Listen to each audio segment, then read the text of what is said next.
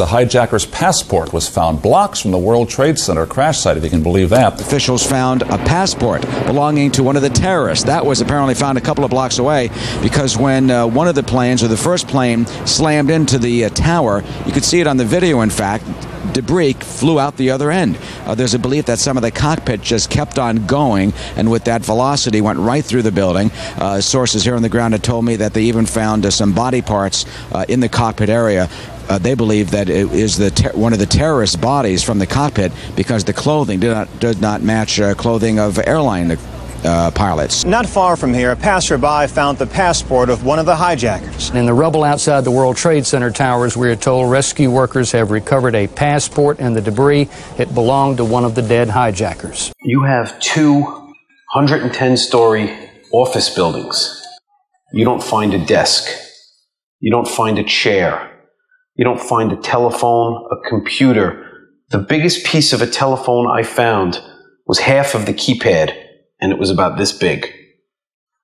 The building collapsed to dust. It was revealed that the um, passport, stand by and listen to this. The passport of one of the suspected hijackers on that plane that flew into the towers was found blocks away from the World Trade Center crash site. Somehow the passport survived. Nobody else did, unfortunately. Also, Saturday at a news conference, it was revealed that investigators, uh, searchers, have found something of interest the passport of one of the suspected hijackers. That passport somehow survived. Floating down from above, it was found some distance from the World Trade Center crash site itself. A couple of blocks away from the World Trade Center site, apparently where that passport was found. Uh, the FBI announcing that it has found the passport of one of the hijackers who were on, who was on board one of those two planes that hit the twin towers. The body of a uh, of a man believed to be one of the terrorists was found in uh, the cockpit ruins. That is because we're told uh, he was dressed not in pilot's clothes, was not in a uh, uniform of a commercial pilot, but some other clothes. So it could be a body of one of the terrorists. Also, some chilling news: a body of a flight attendant, also I'm told, has apparently been recovered. the flight attendant's hands were bound in the back by a wire.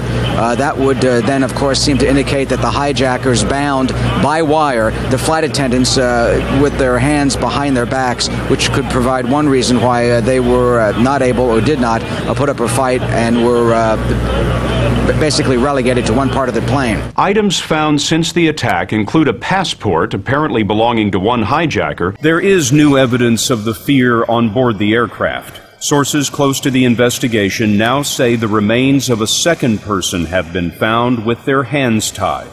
Another pair of hands bound together were found earlier. Uh, in fact, the passport for one of the hijackers was found some three or four blocks away. If you look at this, you wouldn't believe you could find anything. The FBI tells NBC News it was some distance from ground zero that a civilian found a passport lying on the street belonging to one of the suspected hijackers.